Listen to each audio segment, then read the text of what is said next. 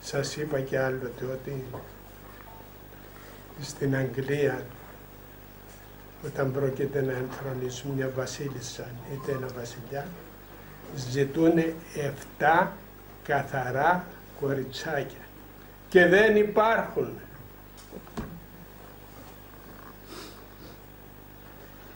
Πεςτε μου στην Αγία Γραφή υπάρχει κάτι το οποίο μας προειδοποιεί για αυτό το αμάρτημα στην Αγία Γραφή. Ενθυμηθείτε όταν ήταν οι μέρες του Νόε. Ο Νόε έζησε 100 χρόνια και 100 χρόνια τους έλεγε μετανιώστε, μετανοείτε τους έλεγε. Έρχεται πάνω σας μεγάλο κακό. Τίποτα. Το έκανε τρελό. Και όταν, ναι, Τον έκανε τρελό. ναι, και όταν, όταν έκλεισαν την Κιβωτό, ήρθαν εκείνοι που την έκαναν την Κιβωτό και του έλεγαν μα εμείς την έκαναμε, «Ε, εσείς την έκανατε, τους έλεγαν «Να, δεν πιστεύω. Και λέγει, λέγει ο Θεός, λέγει ο Θεός τούτα τα λόγια. Μετεμελήθην διότι επίησα τον άνθρωπο. Ποιος το λέει ο Θεός αυτός; Για ποιο σκοπό μετεμελήθη ο Θεός; Διότι λέγει αυτός ο κόσμος δεν βλέπει τίποτε άλλο μόνο τη σάρκα του. Το σαρκίον, αυτό το σαρκίον ξέρετε είναι μεγάλος πόλεμος αυτό ζητάει τα φαγητά, ζητάει τις ειδονές, ζητάει τις ευχαριστήσεις, ζητάει τις αναπαύσεις, ζητάει τα... Και για να σας ερωτήσω, να δω ποιος θα μου πει,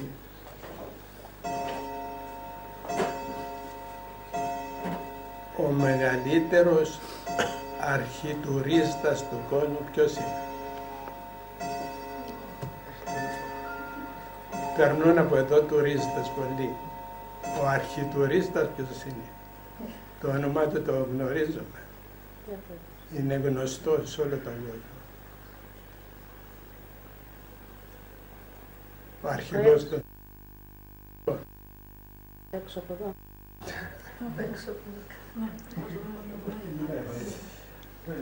Ο διάβολος είναι ο αρχιτουρίστας. Λέει περιήλθον την οικουμένη να άπασα λέγει και τώρα εδώ πάρει μαζί με τους αγγέλους του Θεού μπήκε και αυτός μέσα του λέγει ο Θεός τι γυρεύεις βρε εσύ εδώ; Ήρθα του λέγει να μου δώσεις άδεια να επιτεθώ στον Ιώβ ο Παναγιώτος Θεός γνωρίζει όμως κάτι το οποίο πρέπει να το έχουμε υπόψη μας γνωρίζει τη ζωή του κάθε ενός ανθρώπου από τη στιγμή που πλάθεται στο, στην αγκάλια της μητέρας. Από την ώρα που πλάθεται, ο Θεός γνωρίζει και λέγει εκχυλίας μητρός υγιασμένος λέει. Γιατί, διότι γνωρίζει ο Θεός που είναι ο παντογνώστης όλου του κόσμου, γνωρίζει το παρόν το μέλλον και το προηγούμενο. Το προ, το παρόν και το μέλλον. Γνωρίζει επίσης ο Θεός την τελευταία, την τελευταία λέξη που θα βγάλουμε από το στόμα μας προτού βγει η ψυχή. Και να φανταστείτε τώρα έναν άνθρωπο ο οποίος ο Θεός να φυλάει να είναι μακριά από το Θεό και να βλασφημεί και να σχρολογεί και να μην ακούει κανενός και να μην ζητά κανένα και όταν του λέγουν ότι θα έρθει ο ιερεύς να σε δει, να μην πατήσει λέει.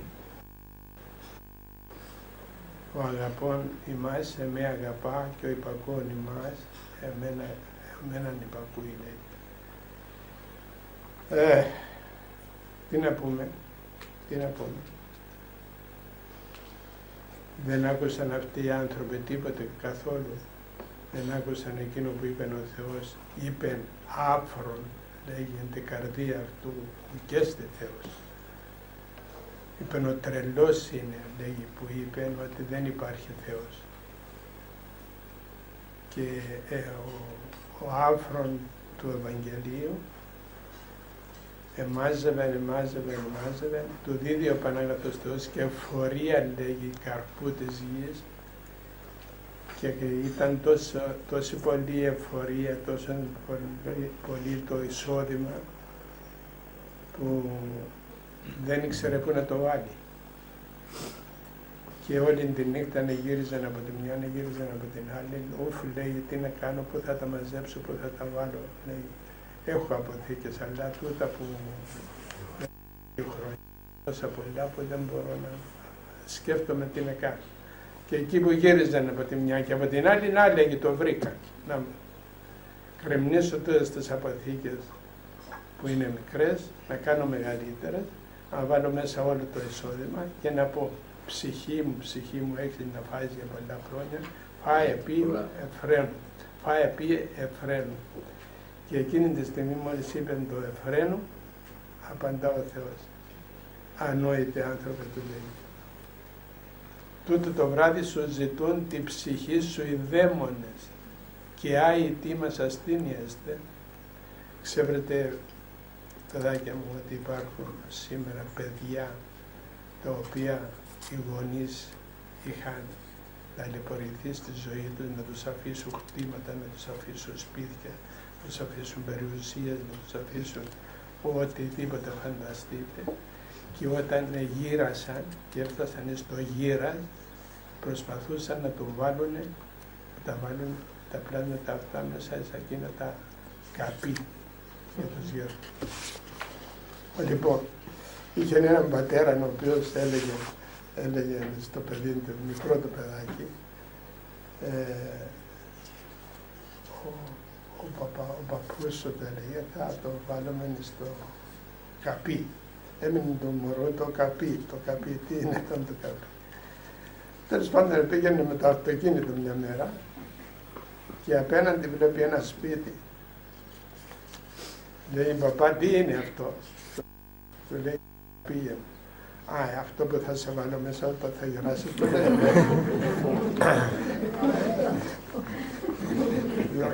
Έλεγε όταν γεράσει λέει θα τους βάλουμε στη μέσα. Αυτός είναι ο άνθρωπος. Δυστυχώς.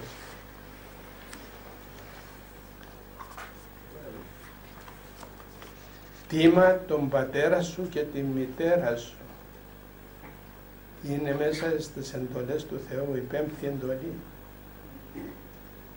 Και τούτο για να προλάβει ο Θεός τον αχάριστον άνθρωπο, να τον προλάβει να μην σπρώξει τους γονείς και να μην τους κοιτάξει.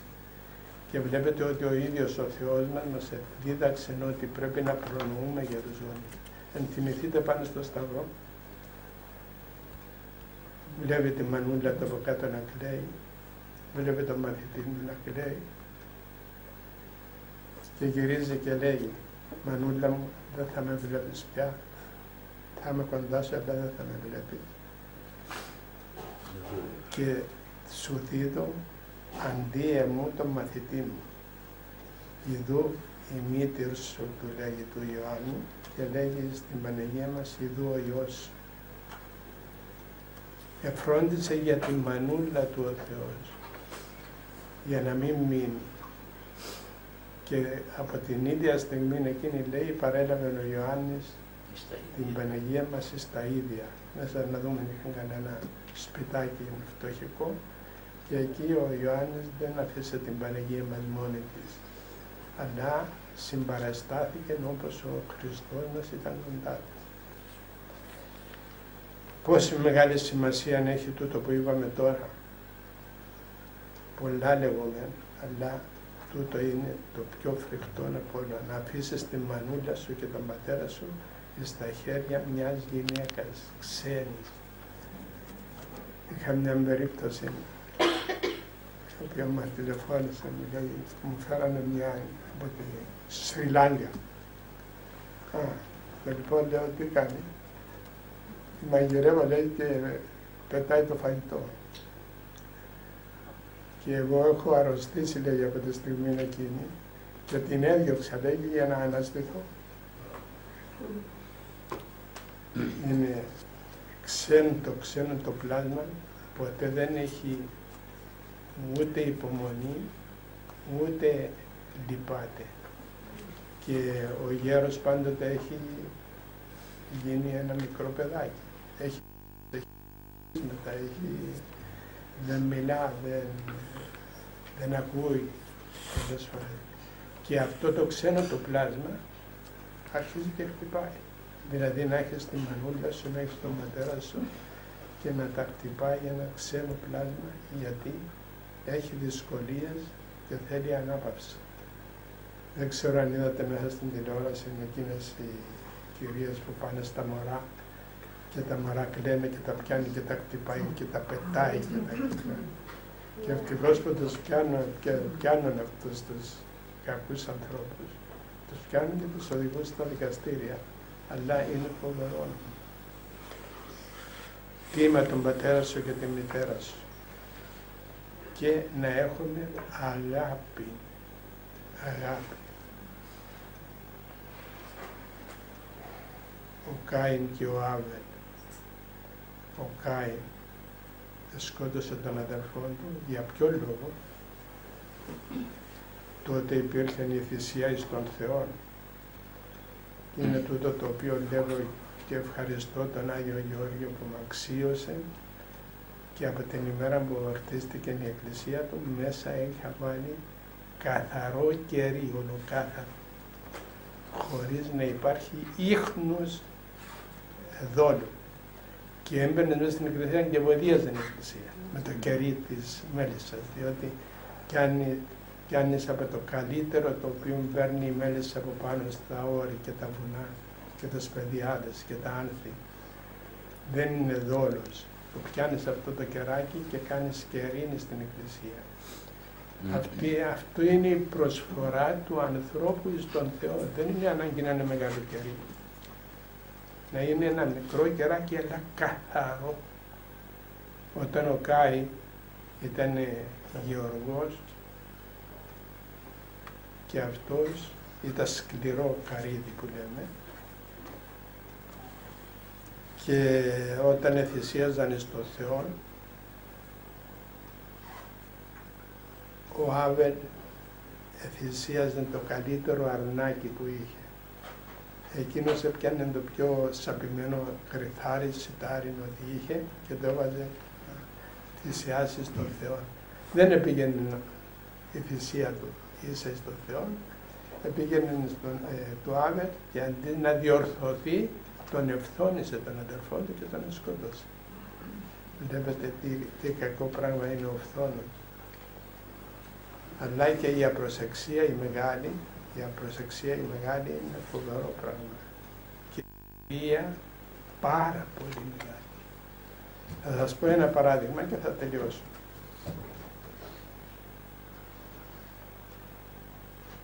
Επικαιρών της Κωνσταντινούπολεως αυτοκράτορ υπήρξε ο Μαυρίκιος με το όνομα το μεγάλο. Ανέβησαν οι Πέρσες, μπήκαν στο Βυζάντιο, έκαναν έμφωτο, άλλους το σκότωσαν, άλλους ε, τυράννησαν, βασάνισαν και άλλους τους έπιασαν εχμαλώτους, 12.000 εχμαλώτους, χριστιανούς από την κυβερνητία του Μαυρικίου. Όταν το επήρε ο Πέρσης, στρέφεται στο Μαυρίκιο και του λέει να μου δώσει ένα χρυσό νόμισμα για τον κάθε ένα, δηλαδή 12.000 χρυσά νομίσματα. Όχι, του λέει, δεν σου λέει. Δώσ' μου αργύριον, του λέει, να μου δώσεις 12.000 αργυρά νομίσματα. Δεν σου δει το Να μου δώσεις, του λέγει, χρήματα όσα θέλεις και να σου τα δώσω πίσω τα πλάνετά σου. Τίποτα δεν σου δίδω, του λέει. Και αυτό ήταν ένα σημείο φοβερό, γιατί αυτοί οι οποίοι ήκουσαν όλο το δράμα αυτό, είπαν ότι αυτός είπε δεν θα με αναδείξουν έπειτα στην αρχηγία. Για αυτήν την αρχηγία πια. Αυτό το, θέλουν να είναι όλοι αρχηγοί. Άλλοι είπαν ότι ήταν φιλάργυρος. Όπως και να είχε το θέμα, όταν ο Πέρσης του είπε αυτήν την προσφορά για να σώσει τα πλάσματά του, αυτός δεν τα πήρε και διατάζει και κόβουν τα κεφάλια όλων και των 12.000 κόσμων. Τα βάζει πάνω στα κοντάρια και δεν τα πάει. Έγκλημα φοβερό, έκλεγαν και οι πέτρες. Οπότε ο Μαυρίκιος είπε Θεέ μου, τούτο το λάθος που έκανα είναι το μεγαλύτερο αμάρτημα της ζωής μου. Σε παρακαλώ, θέλω να μου δώσεις τώρα τιμωρία στούτον τον κόσμο για να μην το τιμωρηθώ αιώνια, ατελείωτα. Ο Πανάγαθος Θεός το άκουσε. Γίνεται ανταρσία αμέσως, τον πιάνουνε τον Μαυρίκιο και τη γυναίκα του και τα παιδάκια του και ανεβαίνει στο θρόνο ο Φωκάς, ο τύρανος. Μόλις ανέβηκε στο θρόνο, φέρτε μου τον αυτόν εδώ, λέει, που έγινε η αιτία, να πάνε 12.000 άδικοι για τη φιλαργυρία. Κάθεται στο θρόνο, διατάζει τα σπαθιά να είναι έτοιμα και πιάνει πρώτα πρώτα το μικρό του το παιδί. Του κόβει το κεφαλάκι, έβλεπε εκείνο μια το μαχαίρι, έβλεπε μια το η μανούλα του, έβλεπε μια τον πατέρα του και ο, ο Μαυρίκιος τι έλεγε; Δίκαιος η Κύριε και δίκαιε εκκρίσεις σου. Τίποτα άλλο δεν έλεγε. Ούτε να κλάψει ούτε τίποτα, παρά μόνο έλεγε αυτή. Δίκαιος η Κύριε και δίκαιες οι κρίσεις σου. Κάνει το τρίτο, πάει στη μητέρα, η μητέρα αρχίζει να βλέπει τον δίμιο, να βλέπει τα σπαθιά, να βλέπει το, το κεφάλι. Μένει τώρα ένα παιδάκι το οποίο είχαν, είχαν μια βοηθόνη στο σπίτι. Και εκείνο το παιδάκι το τελευταίο που έμεινε είπε ότι η, η γυναίκα η οποία βοηθούσε το σπίτι λέγει δεν θέλω να χαθεί όλο το αίμα το βασιλικό πιάνει το παιδάκι της και το δίδει στο δίμιο και πιάνει το τελευταίο παιδί του Μαυρικίου να το φυλάξει. Το βλέπει ο Μαυρίκιος τούτο και λέει όχι λέει. Πάρε το παιδάκι σου που είναι άδικος θάνατος και βάλε το παιδάκι μου που φταίω εγώ. Και τότε το πιάνουν εκείνο το παιδάκι και πάει και το τελευταίο απομεινάριο της διαδοχής. Ο Μαυρίκιος δεν έλεγε τίποτε άλλο, ούτε δάκρυζε ούτε τίποτε, μόνο έλεγε «Κύριε, δίκαια κρίση σου, δίκαιος είσαι, δικαιοσύνη αγάπησας, δικαιοσύνη δίδεις».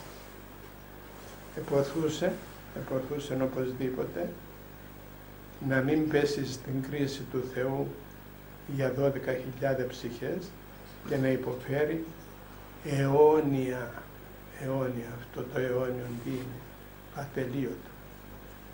Αυτό το αιώνιο το ατελείωτο είναι φοβερό πράγμα, αδερφοί μου. Και δεν γνωρίζει ο κόσμος και να πει βρέαμα, εδώ υπάρχει κόλαση.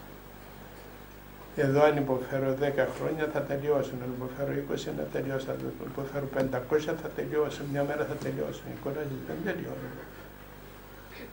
Είναι ατελείωτη.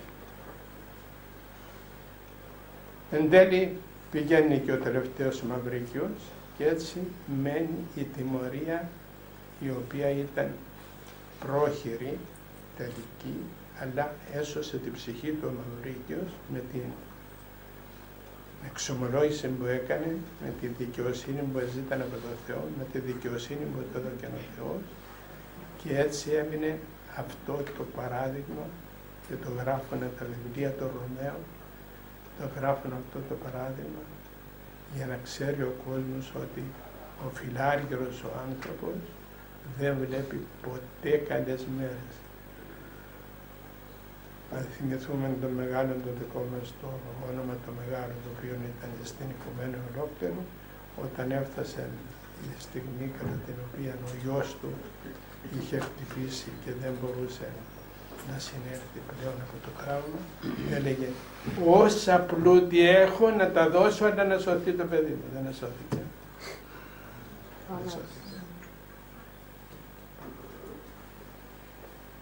Έτσι, παιδάκια μου, να προσπαθούμε στο Θεό μας να είμαι θα ευάρεστε ενώπιον του, να μην λύνουμε πουθενά, να μην δώσουμε την ψυχή μας, ούτε στους χορούς, ούτε στις διασκεδάσεις, ούτε στα πρόσκαιρα, ούτε στα μάτια, ούτε πουθενά.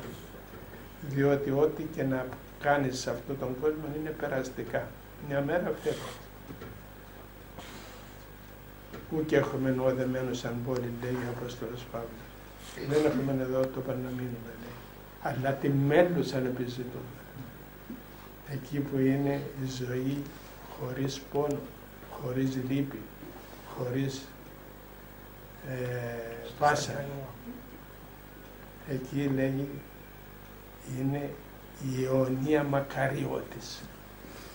Μακάρι, θυμηθείτε τον μακαρισμό σε πάνω στο όρο που πήγαινε ο Κυριός μας και είχε τονίσει έναν χαρακτηριστικό μέρος, λέγει, που θα δεις τον Θεό.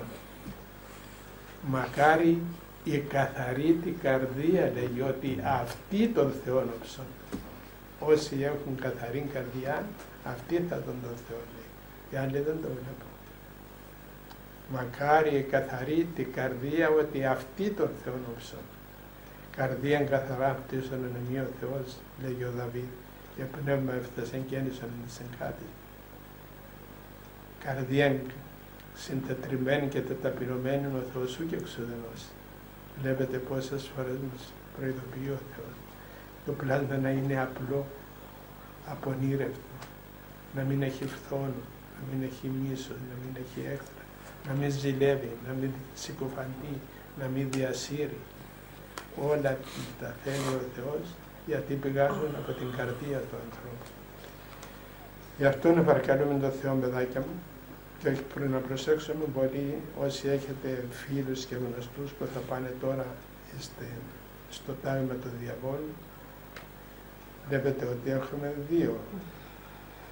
Ένα τάγμα του Θεού και ένα τάγμα του διαβόλου ετοιμάζεται ο Θεός να βάλει τα παιδιά του ειδού λέγει η πύλη της μετανοίας άνοιξε.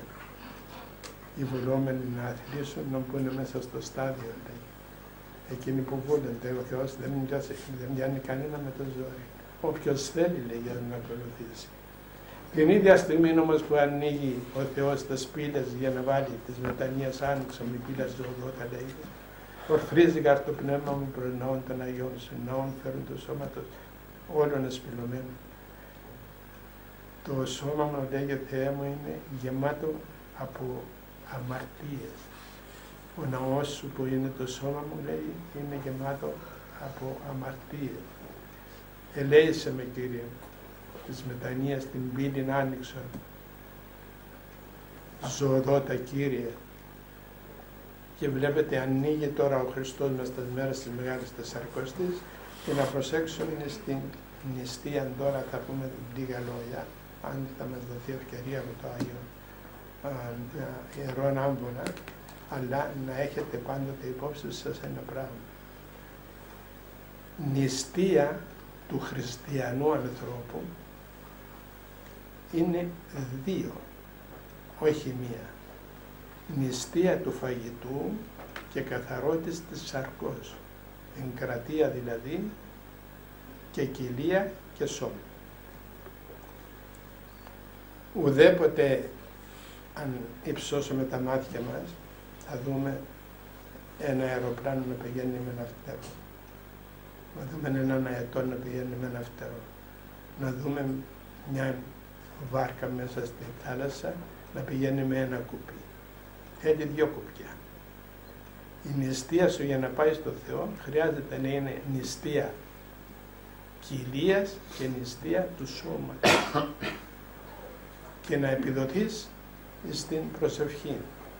Τότε θα έχεις στο Θεό παρησία και θα πεις ότι ανίστεψα, αξίωσε με Κύριε μου να φτάσω την ημέρα της Αναστάσεώς σου, να χαρεί η καρδιά μου.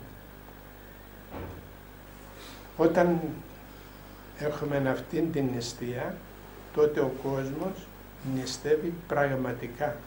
Και αν δούμε ότι ο Κύριος μας επί 40 ημέρες δεν ήπιε ούτε νερό, ούτε φαγητό, ούτε τίποτε. Πώς άντεξε, άντεξε, το λέγει ο ίδιος. Όταν ο διάβολος τον βρήκε πεινασμένο, του λέει πέσε στα σπέτρα να γίνω ψωμί για να φας. Τώρα που πεινάς. Και απεκρίθη ο Κύριος, ού και πάρτος ζήσατε άνθρωπος λέει, αλλά εμπαντή ρήματι εκπορευμένο εκ στόματος Θεού. Όταν μελετάς τα λόγια του Θεού, χορταίνεις. Δεν χρειάζεσαι τίποτα Αλλά εμείς σήμερα δεν έχουμε μόνο να φάμε νηστίσιμα. Έχουμε όλη την ευλογία προς το παρόν. Προς το παρόν. Και στραπα λίγο δεν ξέρουμε αν θα υπάρχουν. Διότι αυτός ο Αντίχριστος θα χτυπήσει την κοιλία όλη του την δύναμη. Και όταν πεινάς πια και εκείνη η μάνα που έχει και τέσσερα και πέντε παιδιά θα λέει και τα παιδάκια μου τι θα γίνει; Αχ μανούλα, δεν ξέρεις τι λες. Νομίζεις ότι τα παιδάκια σου είναι δικά σου. Δεν είναι δικά σου, είναι εκείνο που σου τα έστειλε. Εκείνος θα φροντίσει. Δεν θα τα αφήσει ποτέ να χαθούν τα παιδάκια σου. Μόνο να έχεις πίστη. Αλλά έχουμε πίστη. Δεν έχουμε. Η πίστη μας είναι ανεμικιά. Όπως τον άνθρωπο που ζητά αίμα. Για να του βάλουν αίμα για να ζήσει. Αυτά είναι τα σημεία των καιρών τα οποία ακριβώς θα έρθουν εντός ολίγου χρονικού διαστήματος και τότε οι πιστοί στον Θεό θα αντέξουν, οι άπιστοι δεν θα αντέξουν. Θα έρθει ο ήλιος, λέει, θα ε, επιτρέψει ο, ο Θεός στον ήλιο καυματίσε τους ανθρώπους εμπειρή. Θα γίνει τέτοια ζέστη που θα λιώνει ο άνθρωπος από την πολύ ζέστη του ηλίου, λέει. Και εκείνοι που πιστεύουν στο Θεό λέγουν θα δοξάζουν τον Θεό και εκείνοι που δεν πιστεύουν θα τον βλασφημούν γιατί επιτρέπει την, αυτήν την καύση του ηλίου. Θα επιτρέψει να πέσει, λέγει, χάλαζα ταλαντιαία. Τάλαντον έχει βάρος 28 κιλά. Σκεφτείτε το λοιπόν να πέσει ένα τέτοιο χαλάζι που το λέγει, το λέγει η Αγία Γραφή, δεν είναι αστεία, δεν είναι ψέματα. Η Αγία Γραφή άλλοτε ακριβολογεί και άλλοτε αλληγορεί. Όταν ακριβολογεί η Αγία Γραφή και λέγει αυτό θα γίνει, αυτό θα γίνει. Τα λαντιαία χάλαζα λέγει, η οποία δεν έγινε ποτέ πάνω στη γη, θα γίνει με τη βοήθεια του Θεού και με την άδεια του Θεού για να ξεχωρίσουν και θα μείνουν κοντά του και ποιοι θα φύγουν. Θα επιτρέψει αρρώσκες ο Θεός, θα επιτρέψει, βλέπετε τώρα αυτή τη στιγμή που μιλούμε, έπεσε μια αρρώσκια πάνω στα σκότες. Όλες οι κότες, άλλες δεν γεννούν, άλλες ψοφάνε. Τι είναι, από αυτά τα οποία ραντίζουν. Βλέπετε ότι ραντίζουν τον ουρανό και σκέπτεται ο ουρανός, όλοι εμείς που είμαστε από κάτω, με ψήγματα αλουμινίου. Ψήγματα αλουμινίου, δηλαδή καταπίνουμε αλουμίνιο που γίνεται σκόνη και όπως αναπνέουμε μπαίνουμε μέσα στα πνεύμονα και βλέπετε υπάρχουν τόσες αρρώστιες, τόσα βάσα. Όλος ο κόσμος Σε μια ηλικία δεν αντέχει περισσότερο γιατί δεν έχει δύναμη. Αναπνέει αυτό το αλουμίνιο. Και είναι πάνω από 10.000 μέτρα από πάνω για να είναι ελεύθεροι να μην τους ελέγχει κανένας. Και το αφήνουν από εκεί πάνω εκεί και πέφτει κάτω και πιάνει όλο τον κόσμο. Τα φυτά λιώνουν και πάνε, ξηραίνονται. Τα ψάρια, είπε, λέγει η Αποκάλυψη ότι θα βρωμήσει η θάλασσα, λέει. Και δεν θα έχει ο άνθρωπος να φάει ψάρι. Πηγαίνουμε ίσα ίσα, διότι κάθε και λίγο πιάνουν τα ψάρια και βάζουν πάνω πομπούς για να ξέρουν πού πάνε τα ψάρια.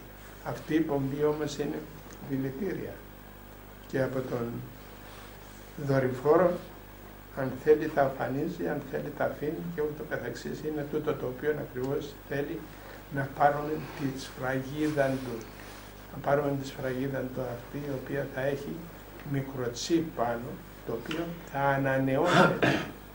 θα ανανεώνεται και δεν μπορεί να τελειώσει ποτέ. Άπαξ και το βάλει ορμά μέσα στο αίμα και εκείνο ανανεώνεται, ανανεώνεται, ανανεώνεται, ανανεώνεται και δεν μπορεί πια ο άνθρωπος να φύγει από την παγίδα των αντιχρίστων. Γι' αυτό εμείς έχουμε το σύνθημα. Μην παίρνετε ποτέ καμιά κάρτα. Ποτέ θα μας κόψουν τα πάντα, να μας τα κόψουν. Αλλά δεν θα υποταχθούμε όμως και στον Αντίχριστο για να μας κυβερνάμε τους δορυφόρους οι οποίοι ελέγχουν έπειτα τον άνθρωπο και όπου βρίσκεται ο άνθρωπος θέλει τον αρρωσταίνει, θέλει τον πεθαίνει σε δευτερόλεπτα.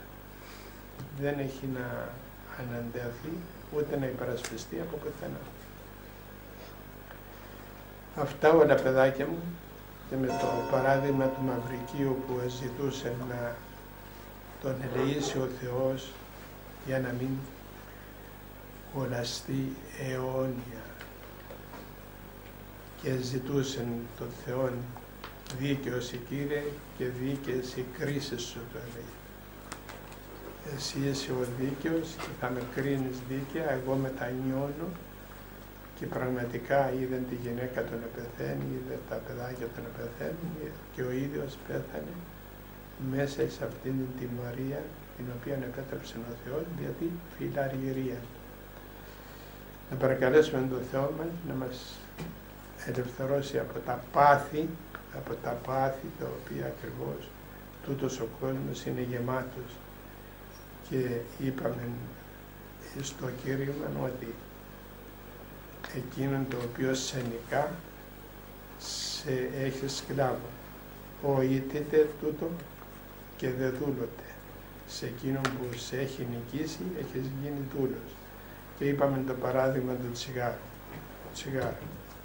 Πες ένα που είναι καπνιστής, κόψε το τσιγάρο. Βρε είναι σατανικό, δεν με ενδιαφέρει λέει. Βρε φτύρει την υγεία σου, δεν με ενδιαφέρει. Και θυμούμαι στον Ευαγγελισμό όταν με αξίωσε ο Θεός μας και ήμουν πέντε χρόνια είχα ένα καρδιολογικό τμήμα και ο κόσμος που εξομολογείται μέσα στα πέντε χρόνια το λιγότερο να μην βάλω πολλά, πέντε χιλιάδες άτομα εξομολογείται. Ήσαν και οι πέντε χιλιάδες καπνιστές παρακαλώ. Και του έλεγα παιδάκι μου πεθαίνεις δεν μπορώ λέει. Έχει υποδουλωθεί. Ο ήττε τούτο και το άλλο. Έχει υποδουλωθεί στο τσιγάρο. Δεν το αφήνει πλέον. Το έχει κάνει δούλο του. Και τούτο είναι εκείνο το οποίο ακριβώ ο Πανάγαθος Θεός λέει προσέχετε μην σας νικήσει ο διάβολος και σας υποδουλώσει. Όταν σε υποδουλώσει ο διάβολος πια πώς να φύγεις. Μπορεί να φύγεις που χρησιμοποιεί το παν. Λέγει, εσείς λέγει έχετε αρχηγόν εκείνον που αγαπά. Εμείς έχουμε ένα αρχηγόν εκείνον που μας δεν του πάρουμε ψυχές. Αλλή μονό μας λέγει πώς τε τραβούμε. Αλλή μονό μας τε τραβούμε. Θα πάθουμε όπως εκείνος έκανε τέτοια διάβαλο, τράβηξε όλους τους διαβόλους και του λέει εσύ τι έκανες, του λέει, για να φέρει ψυχές. Του λέει πήγα στο πανήγυρι, λέει, εκεί που πανηγυρίζω και τους έδωσα μαχαίρια και τους έδωκα και ποτό, ήπιανε λέγει, μεθύσανε και σφαγήκανε και τους έφερα εδώ. Τίποτε λέγει, δώστε του τιμωρία, διατάζει τους άλλους δηλαδή. Εσύ του λέει τι έκανες; Εγώ λέγε πήγαμε στα πλοία και τους έβαζα και βλασφημούσαν και πόρνευα. Και μου επέτρεψε ο, ο εκείνος από ψηλά λέει, άνοιξα τη θάλασσα και κατέπηκε όλο το πλοίο. Τίποτα το λέει. Πάρτε τον κι αυτό. Τρώει και εκείνο ξύλο. Εσύ τι κάνεις, του λέει, τι έκανες, πόσους με έφερες εδώ; Λέγει, πήγα στις γειτονιές και έβαλα τα παιδάκια, λέει, τσακωθήκανε μεταξύ τους, έρχονται οι γονείς, τσακώνονται και εκείνοι, τους πάω στα δικαστήρια, ορκίζονται ψέματα και τους φέρνω ε, εδώ. Τίποτα καθόλου δεν έκανε τίποτα το λέει. Άτε, και αυτό στη Μαρία. Εν τέλει βρίσκεται ένας, ο πιο μικρός από όλους τους για όλους, που λέει εσύ τι έκανες; Εγώ τους είπα ότι υπάρχει Θεός, υπάρχει η Παναγία, υπάρχουν οι Άγιοι, υπάρχουν η Εκκλησία, αλλά τους είπα, έχεις καιρό να ακούμε. Για μετάνοια. Το λοιπόν, και τους, αφήσα, τους άφησα εκεί λέει και περίμεναν να βρουν καιρό, πεθαίνουν και τους φέρουν. Εσύ του λέει έκανες το καλύτερο. Που βγάζει την, την περικεφαλία που είχε ο, ο αρχηγός και του τη φοράει και του λέει εσύ είσαι ο καλύτερος ε, αυτό, αυτό παθαίνουμε. Έχεις ακόμη καιρό, έχεις ακόμη καιρό, έχεις ακόμη καιρό και πάει. Το λοιπόν, παιδάκια μου, σήμερα θα πάρουμε το σύνθημα του ασώτου Ιού, την επιστροφή και την μετάνοια. Όσο το δυνατόν να βρούμε ένα καλό πνευματικό να μας εξομολογήσει, να μας φυλάει ο Θεός με καθαρή τη συνείδησή μας. Τούτο που είπα σήμερα και να το προσέξουμε, τουλάχιστον όσοι είμαστε εδώ, όταν έχουν μνημόσυνο τρέχουν να κοινωνήσουν. Αχ, την μεγάλη παγίδα του διαβόλου είναι αυτή. Πού πάει παιδάκι μου, πάω να κοινωνήσω, λέει, για την ψυχή του πεθαμένου. Για την ψυχή του πεθαμένου σου, τι δουλειά έχει. Ο πεθαμένος με σένα τι δουλειά έχει. Εκείνος πήγε, θα κοινωνήσεις εσύ ανάξια, χωρίς εξομολόγηση, χωρίς νηστεία, χωρίς προετοιμασία, πάλι να κοινωνήσει για την ψυχή του αποθαμένου. Ποια ψυχή είναι αποθαμένου, βρε παιδάκι. Και το έχουν και δεν μιλάει κάτι για να διαφωτίσει τον κόσμο. Η ψυχή του αποθαμένου κερδίζει προτού φύγει από τον κόσμο τούτο. Λοιπόν, παιδάκια μου, δεν τελειώνουμε. Το ένα φέρνει το άλλο, το ένα